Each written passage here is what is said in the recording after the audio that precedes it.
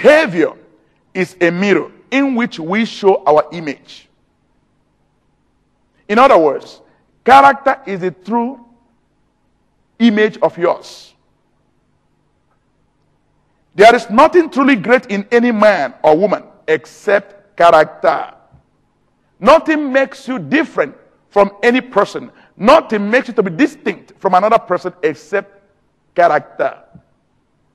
Therefore, character needs no epitaph.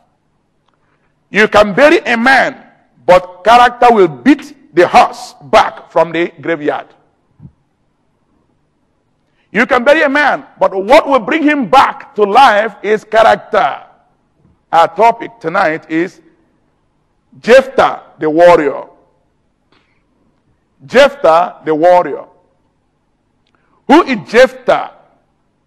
What can we learn about this man called Jephthah? What make him unique? And what are the mistakes that he made in his life? Jephthah. What is the meaning of Jephthah? All this and more we are going to cover tonight. Jephthah. What is the meaning of Jephthah? Jephthah means Jehovah opens. Jephthah means Jehovah opens. Yahweh opens. Yes, our Jehovah will open doors of blessings for us if you believe.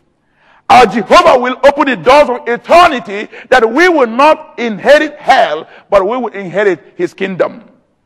He will open the doors of divine health for us that we will not go through ill health anymore. Jehovah will open the doors of prosperity for us because our Jehovah reigns.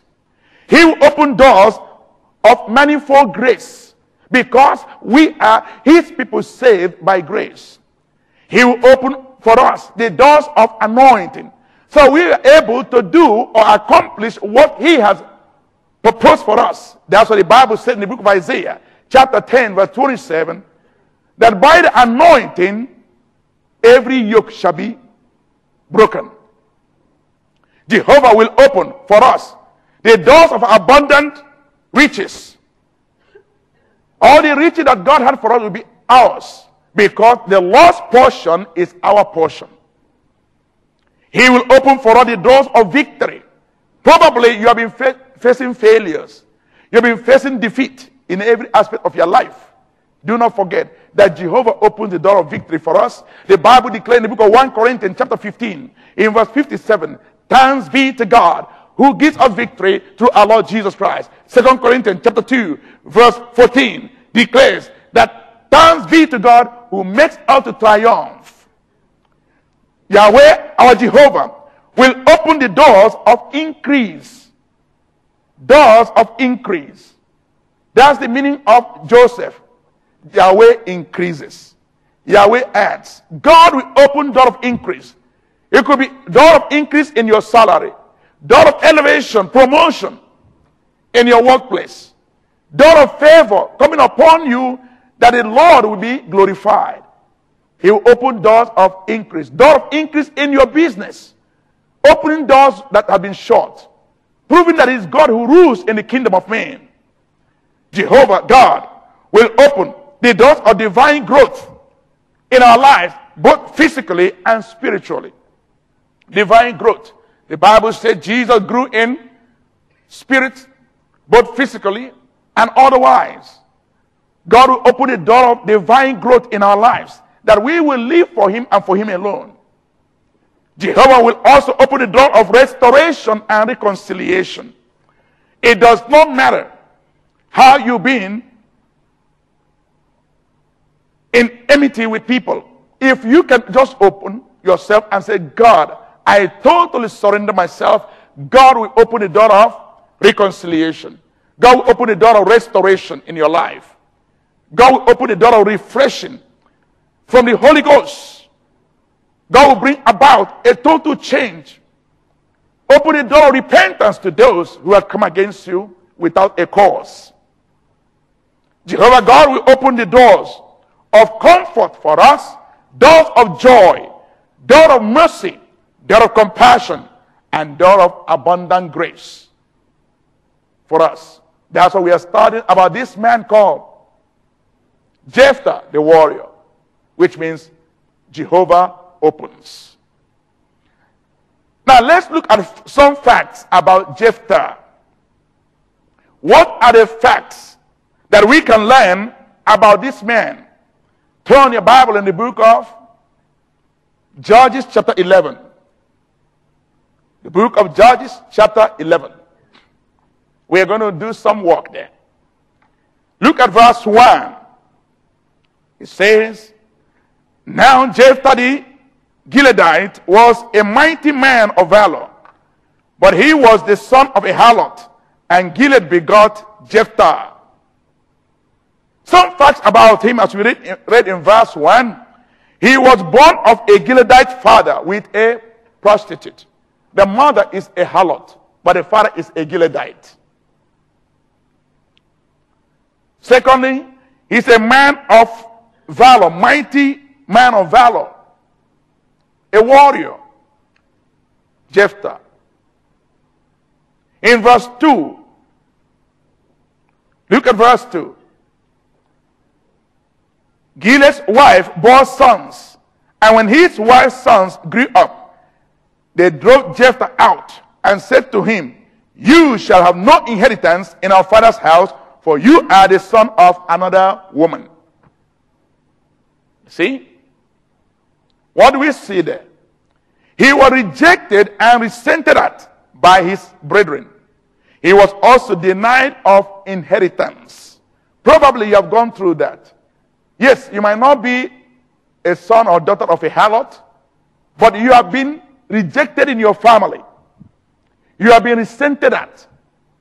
What belongs to you and your brethren, it seems your brethren don't want to give your own share because of act of resentment, rejection, and wickedness. When Jeremiah the prophet was writing in the book of Jeremiah, chapter 30, verse 17, he said, The Lord will heal your wounds and restore health to you because you have been rejected. You have been mocked. You have been resented at. And they call you Zion, which no man cares for, which means they call you are nothing. No cares for you. What are you? You are nothing. Maybe you have been resented because of your race. Maybe people have forsaken you indirectly because of your person. They hate you. But they don't want to say outright. But they use all kind of crooked ways to abandon you, to leave you alone by claiming something else. Well, all I have to tell you is God has not rejected you. Don't, therefore, don't reject yourself. God has not abandoned you. Therefore, don't abandon yourself. The rejection of man is not the rejection of God. You must know that. Therefore, be encouraged. Don't think that, well, because man rejected you, God has rejected you. The rejection of man is not the rejection of God. Rather, the Lord will prove himself and he will elevate you if you keep on trusting him and believe him. Look at verse 3. Then Jephthah fled from his brothers and dwelt in a land of Tob, and worthless men handed together with Jephthah and went out raiding with him. Another fact about him, he fled from his brethren and dwelt in the land of Tob. Because they rejected him, because they don't want him, he ran from his brethren and went into hiding to dwell in another land. This sounds like what happened to David. How Saul began to chase him, rejected him for no reason. And he had to leave the land and run to another place to stay. God's people, listen. Man may cause you to run, but God will find you in your hiding place. Can I hear amen? Man may cause you to leave your inheritance, to leave your what belongs to you, but God Almighty will sustain you and give you back those things that man has wanted to steal from you. I always say it. You can take everything away from me. You can take away the church from me. You can drive away everybody in the church because of your own resentment. But I tell you something, there is something you cannot take away from me. You cannot take away the vision because the vision is inside unless I'm dead. As long as I'm alive, the vision will continue to prosper. All you need to do is give me time. Next. In the same verse 3, this is exactly what happened to David. When David was chased away, the Bible told us that he went and gathered all the social parasites, the debtors, useless people, and now raised them to be a mighty army. The same thing happened to Jephthah. There we read, he led a troop of social parasites, of vain people, who followed him in various adventures that led him to perfect in the art of war. You know one thing with many people? When people drive you away from where you're supposed to be, don't go and cross your leg and fold your hands and say, I cannot take it, and begin to cry. Cry takes you nowhere. Begin to seek God and begin to do something, and God will bless you. Jephthah did not go and say, Well, hence my brethren had chased me away, I better go and die. No, rather, he went out and began to do something else. There are many people, maybe you are sacked from your work. Instead of you to begin to believe God for many things to come, you go at home, cry, cry. Nobody care for me. Nobody want to know about me. Nobody, nobody, no, no, no, no. That takes you nowhere. Grumbling and murmuring takes you nowhere. Rise up. Call upon the God of Abraham, Isaac, and Israel. Believe in him and see what he will do for you. He will move the mountain on your behalf. That's why he's God. He begin to perfect himself in the act of war. He becomes skilled in the things of war. He becomes knowledgeable. He begins to know how to take strategies. He begins to know how to overcome the enemy. He begins to know how to take possession of what belongs to him. He begins to learn how to inherit what God has planned for him. Next. At the imminence of war with the people of Ammon, the elders of Israel called on him to fight for them. Look at verse 5. And it was when the people of Ammon made war against Israel that the elders of Gilead went to get Jephthah from the land of Tob. Then they said to Jephthah, Come and, our, and be our commander, that we may fight against the people of Ammon. Praise the Lord. You see it? The rejection of man is not the rejection of God. They chase him away. They drive him away from his father's house and say that he's a son of prostitute. You, are a, you are you, you are not a right child. You are not like us. You are not like us, therefore we cannot follow you. We cannot, you cannot be with us. That's what they said. But when there is war, when war came, when there was war, when the battle sound begin to come, they go back to eat back their words. Are you all there? They go back to him. Please come and fight for us. Please come and be our captain. Please come and be our commander. Glory to God.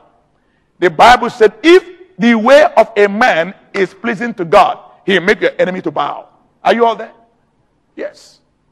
If your way is pleasing to God, those who come against you will bow before you. Isaiah the prophet declared in the book of Isaiah, chapter 41, verse 12 and 13, he said that you will look for your enemies, you will not find them. They will be, in verse 13, he said, they will be like non existent things because you believe in your God. That's my joy. That's why I get stronger. Because I know whom I believe. For I am persuaded that God is able to do more than I ask and more than I think. And He's able to keep all that I've committed into His hands against that day. All I always encourage people live right. Keep your hands clean. Keep your life clean. Keep yourself pure. You will see what God will do for, your, for you. He will fight on your behalf. Let's continue. They came to him and called him, Elders of Israel, please come and fight for us. But this is a man they drove away. This is the man they gossip at. This is the man they want to cut down. This is the man they want to pull down. This is the man they have totally destroyed. Come and fight for us. Now look at verse 7. So Jephthah said to the elders of Gilead, Did you not hate me and expel me from my father's house? Why have you come to me now when you are in distress. Look, look at that. He reproved them for rejecting and casting him out. But he called. But they called him to come and fight for them. So he said, So now you are in a time of distress. You are calling me. You know, there are many people they will do evil. But when they need money, they still come back to you. There are many people, they will speak against you, but when they are sick, they call you to pray for them. There are many people, this is how they live. You see in the Bible. Therefore, don't get overwhelmed by the attitude of people towards you.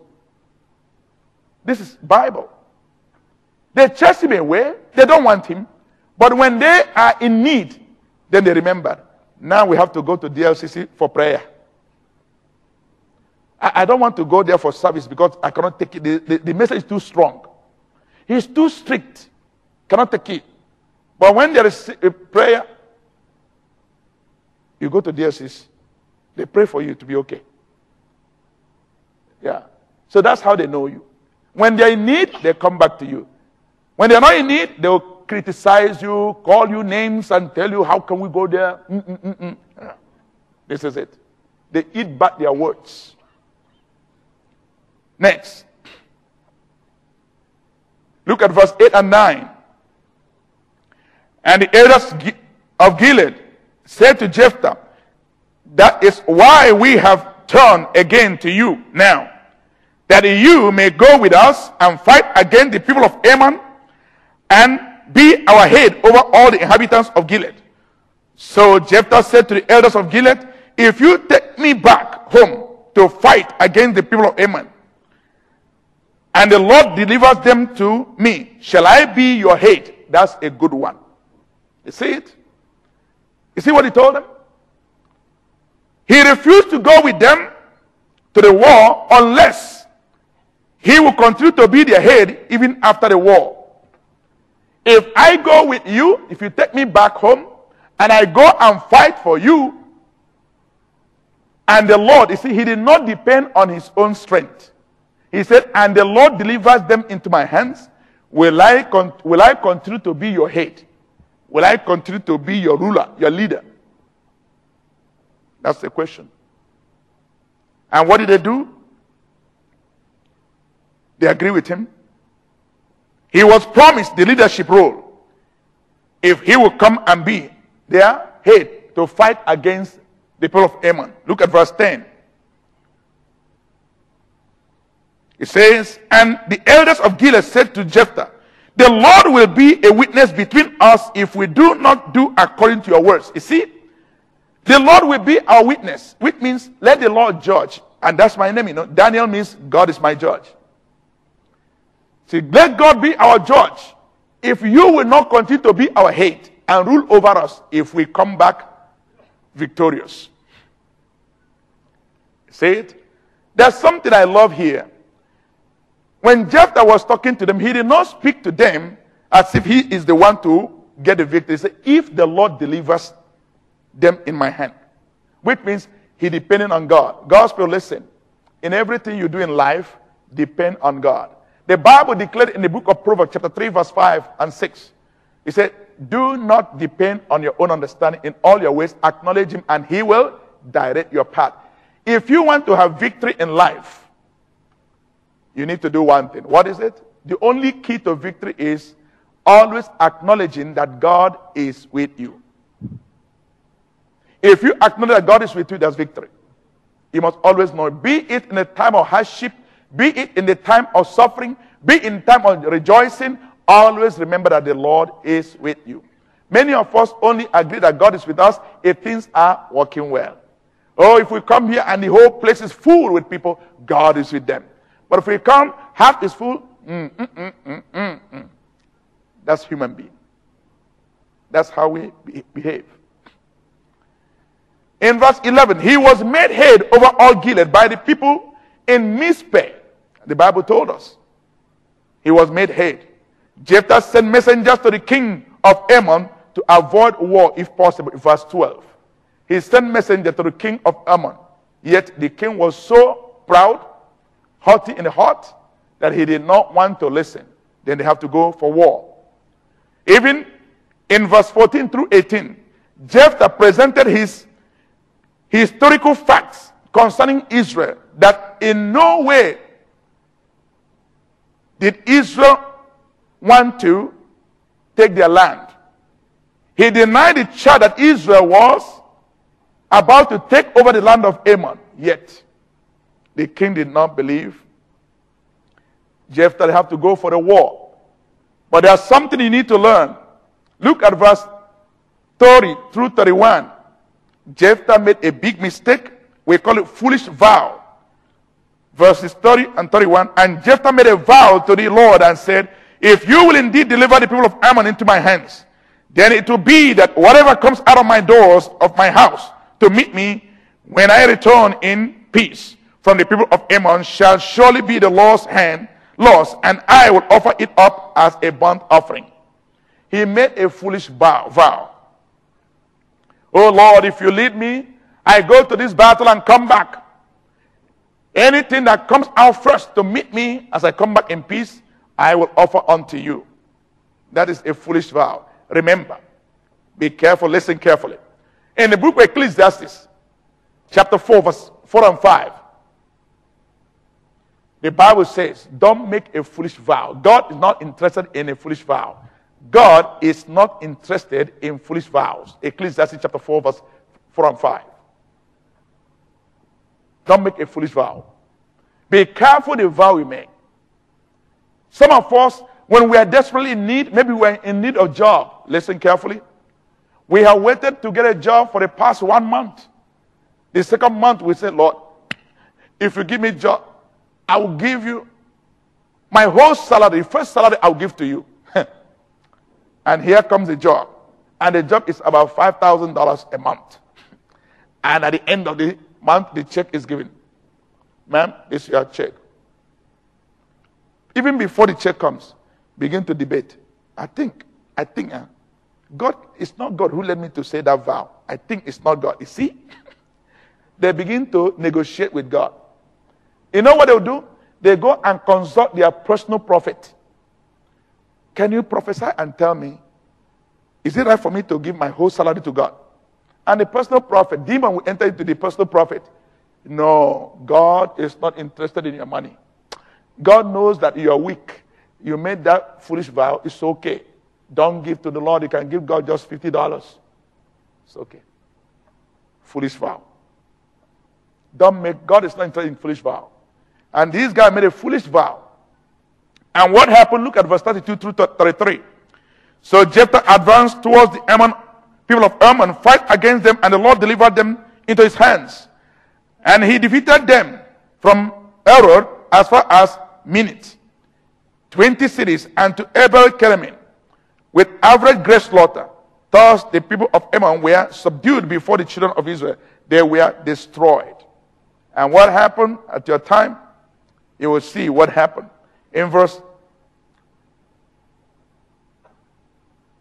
as you read verse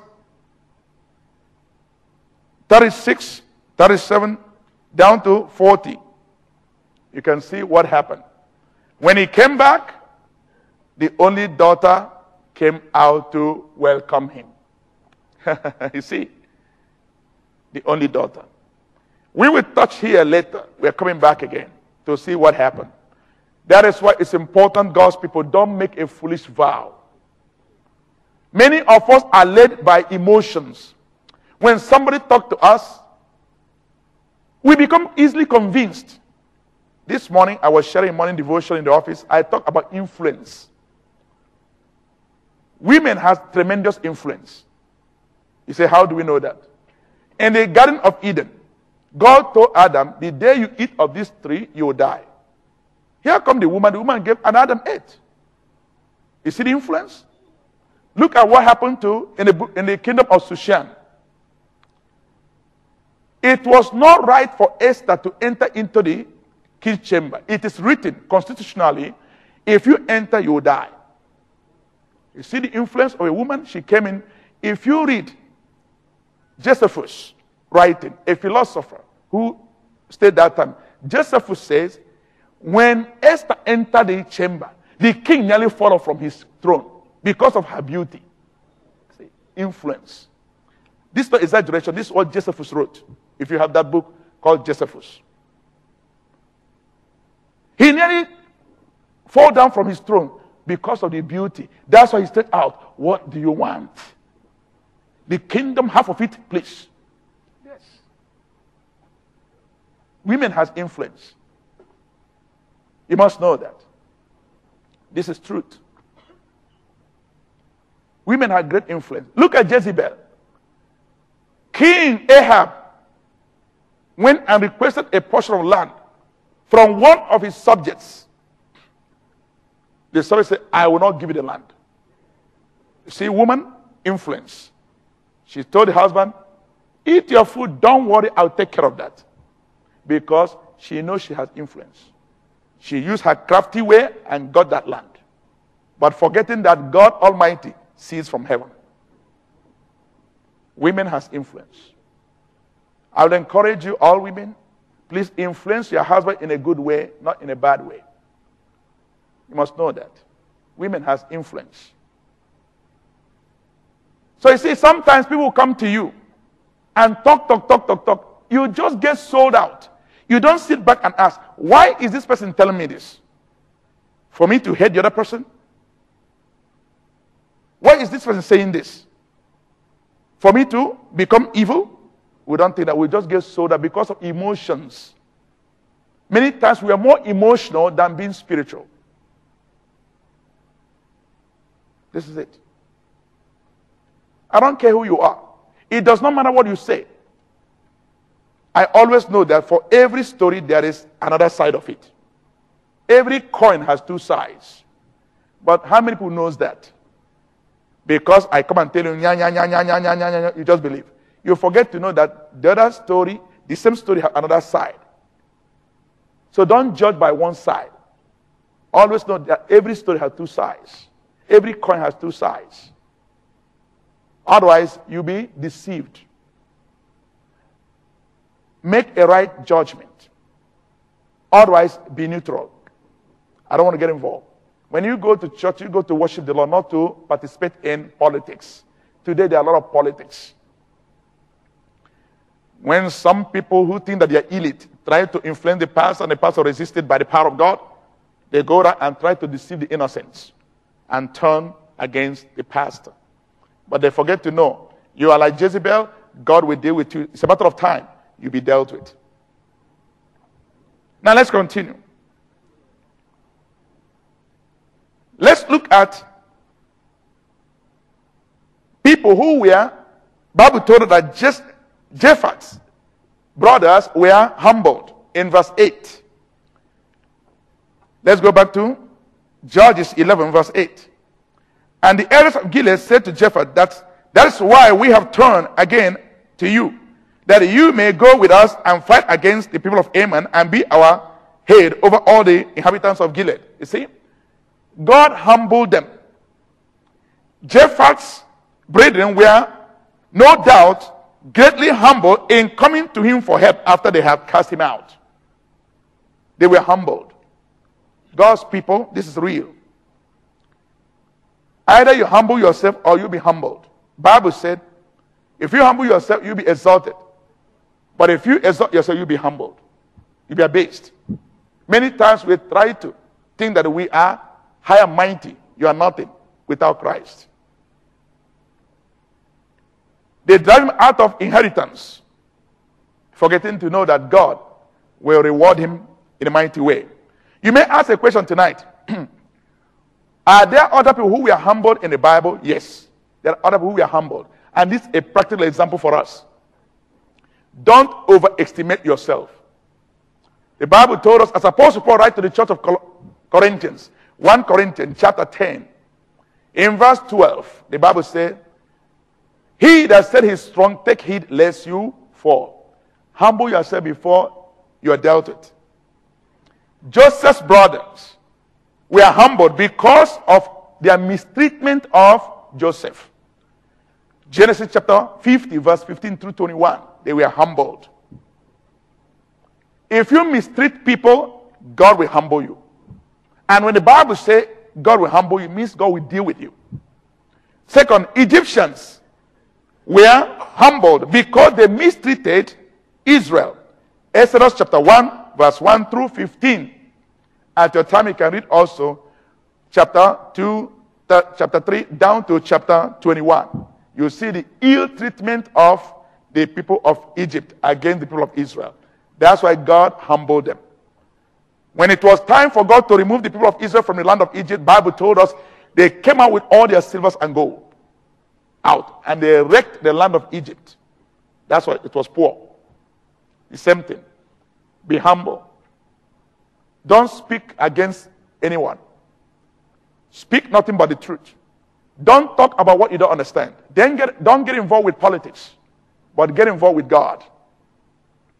Thirdly, we read in the book of Judges, chapter 11, verse 2 through 11, Gileadites were humbled because of the mistreatment of Jephthah. Then, in the book of 1 Samuel, chapter 24 and chapter 36, Saul was humbled because of his mistreatment of David. He was humble. I always tell you, don't mistreat anyone. If your enemy is hungry, give him food to eat. If your enemy is thirsty, give him water to drink. In so doing, you heap up coal upon his head. Romans chapter 12, verse 20 and 21. Next. Rehoboam, the son of Solomon, was humbled because of his haughtiness to Israel. When the people of Israel came to him and said, Please, relieve us from suffering. When your father was alive, we were oppressed. Please relieve us. He told them, You go, come back tomorrow, I'll talk to you. So when they came back, when they have gone, the elders of Israel came to Rehoboam and said, Talk to these people kindly. Accept them as they are. Show them compassion and they will submit to you. But Rehoboam went and called his friends whom he grew with, grew up with. And they told him, Look, tell them you will deal with them. If your father had caned them with a cane, you would cane them with scorpion. Ah. And he took that advice, ill advice. I always warn people. When somebody talks to you and it is not based on word of God, don't accept. It doesn't matter how rosy or how good it is. Prove it. Bible says, test all things and prove it. And when these people came back, Rehoboam spoke to them roughly, treated them very badly. And what happened? The people of Israel said, To your tent, O Israel, what have we to do with the house of David? He said, God dealt with the haughtiness of Rehoboam.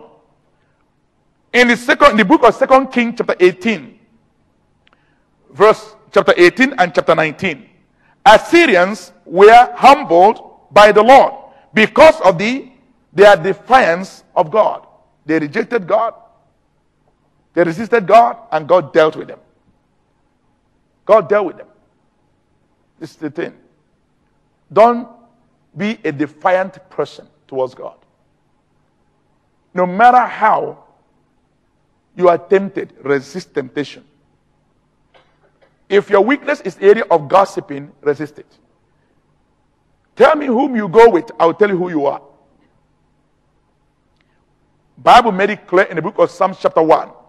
Blessed are those who do not sit in the council of the mockers or evildoers.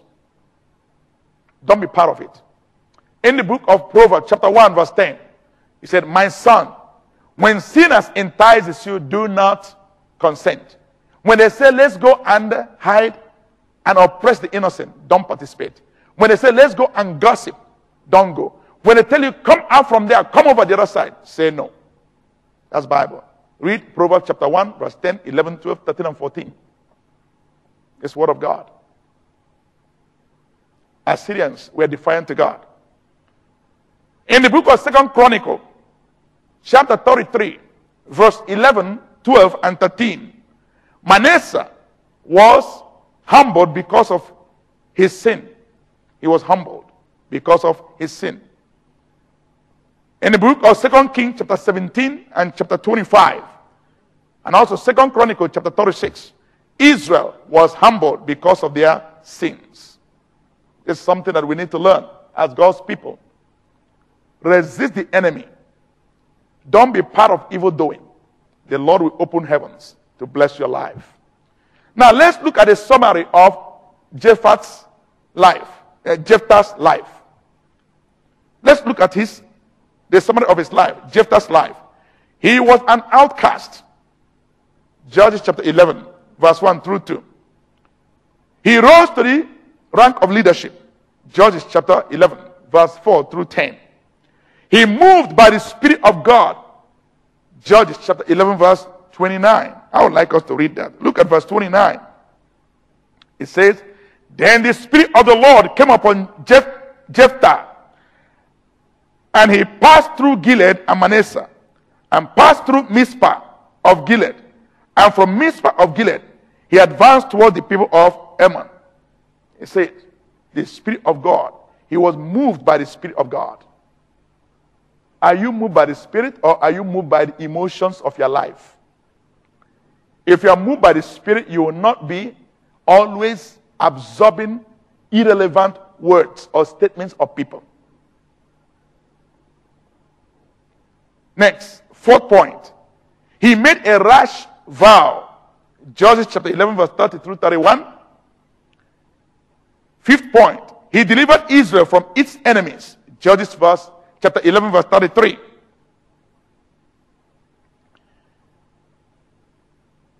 Look at Judges 11:39. He was a man who kept his vow. Judges 11:39. And it was so at the end of two months that she returned to her father, and he carried out his vow with her, which he had vowed. She knew no man, and it become it became a custom in Israel. Say it.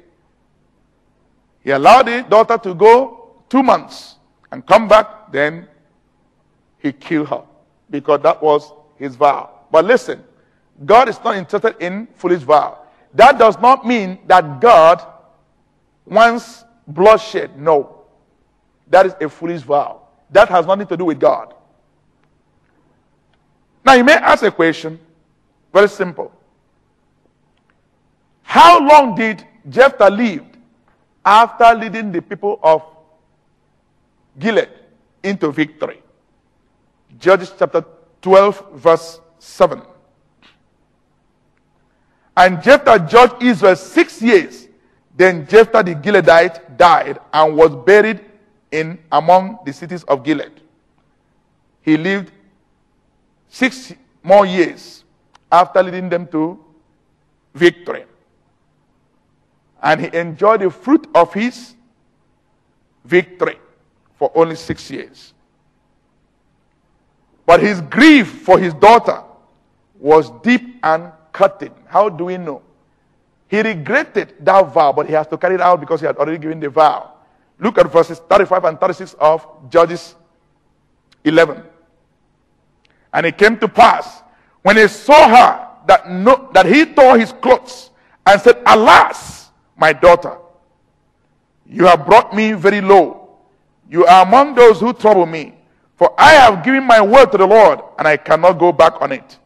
So she said to him, My father, if you have given your word to the Lord, do to me according to what has gone out of your mouth, because the Lord has avenged you of your enemies, the people of Ammon. He really, deep inside of him, he regretted that vow. He regretted. That's why he tore his clothes. He said, Alas, he couldn't take it. The only daughter. It pained him terribly. God's people, be careful with your foolish vow. Be careful with those you go with. When we are desperately in need, we give all kind of vow to God. Now listen carefully. I remember a couple. They wanted they were in three room flat. So when they wanted to get a five room flat, what they did was the man of the house said, if the Lord give me this five room flat at the price I am asking, I will use this five room flat to accommodate missionaries. You see? So the Lord gave that five room flat at the price they ask. That's about $70,000 below valuation. God gave that. After they got that flat, the man of the house had the intention of to accommodate any passing by missionaries. Yes. The first time, second time, the wife of this man begin to grumble. They don't have any child, you know. It's only two of them in five room flat. Begin to grumble. Why must we be entertaining people? They are not paying for the food of those missionaries. It just let them have a room and stay, and after that they go. They don't even stay more than one week. They begin to grumble. Begin to grumble. Why must he be at home every time people will come? They forget the vow they gave. They forget to know the Bible said, do not forget to entertain strangers. In so doing, you entertain an angel. They forget. What happened in the Old Testament? The same thing, a prophet was entertained. And the prophet asked, What do you want? And they don't have a child. And the Lord used the prophet to bless them that they have a child, and they had a child, had a son. People don't remember the Bible. They just give their so called vow. Anyhow, they couldn't be bothered what the result might be. They just say whatever they like to say, they say, because they feel like, well, we have to say it. And that's what they did. They did not keep their vow. God's people, learn to keep your vow. Don't give a foolish vow. If you cannot keep your vow, please close your big mouth. When we are in need, the same thing one man, I remember one man, a multi-millionaire, when he was struck with cancer, he said, if the Lord heal me, I will, give, I will build a church for the Lord. I don't care how much it will cost, I'll build. In my heart, I nearly ask, all this while you've been alive, what have you given to the church? now, because your days are numbered, you say, I will do this, I will do that. Talk is cheap. The same thing goes. Maybe you're a business man or woman. When you're looking for a business, say, The Lord, give me this business. I will give my tithe to the Lord. when the business is given to you and the tithe is running about 200,000 a month, then he said, Can God ask this? Now, I'm going to close. Let me share this with you. I know of a, a brother who bought his bungalow about 200 and something thousand dollars. I mean, sorry. Yeah, about $650,000. About 15 years back, uh, 16 years back. He nearly go bankrupt. So he wanted to sell that very bungalow. Nobody wanted to buy because it's too big. About 16 years back. So eventually, God sent somebody, a believer who came to buy that place and the man made profit of 1.8 million. This is what he bought 650. Yes. So he said, if I sell my house, I will pay my tithe to the Lord. Now he sold it, and the tithe is only 180,000. After selling it, he find it difficult to go and give the 180,000 to, to the Lord. You know what he did? He went to another brother and said, Does God want our money? And that brother said, No, God doesn't want your money. You can give anything. God wants all of you, not just your money. He said, like what? He said, even if you get 10,000, 15,000, 18,000, it's okay. God doesn't want all this. That's what he wants to hear. You know what he did? He used 180,000 to buy himself 300 SEL Mercedes. Those long time during those days. Long one. The moment he bought, he was so happy. He entered into it. Two days, he got paralyzed. When he got paralyzed, he was shocked. There was no sign. He was not having blood pressure. He got paralyzed. They call every man of God to pray. If you pray, he will bless you because God has blessed him. They're going to call, you know, that's what happened. They call all men of God from all walks of life to come. And, you know, this, some men of God are also those who want money. When they come, they, they, they, they dance and dance and shake and shake and shake and shake. Nothing happened. Not even ants doesn't move. And what happened? They called a man of God. The man of God came. God brought a man of God. The man lay hand on him and said, Thou say the Lord, you have violated your vow. he was shocked. Then he asked, Brother, did you make a vow? Mm, uh, mm, mm, they won't say. That was what happened. God's people be careful. Don't joke with God and don't play the fool with God. When you make a vow, fulfill that vow. It doesn't matter. Even if it had to cost you not to eat, make sure you fulfill your vow. God is not interested in foolish vows. So Jephthah fulfilled his vow. Though God does not require blood, but he made a foolish vow. The Bible told us in the book of Hebrews, chapter 11, verse 32, that Jephthah died in faith. He died a faith worthy, as stated in Hebrew 11:32. He died in faith because he walked with God, even though he made foolish vow. He accomplished what he was called to do. Therefore, he died in faith. God's people, if we die today, will we die in faith? Or will we die as foolish people? Will we die as those who have been deceived by others? Deceived by old people, old men, old women. Those who don't want to live right with God, who want to be practicing politics and manipulating the innocent, the young ones. Will you die in faith? My prayer is this May the Lord depend on us. May the Lord find us faithful. May the Lord find us spiritual. May the, the Lord find us at the end that we are worthy to be called by His name and we enjoy eternity which He has prepared for us. When you hear the voice of God, do not harden your heart.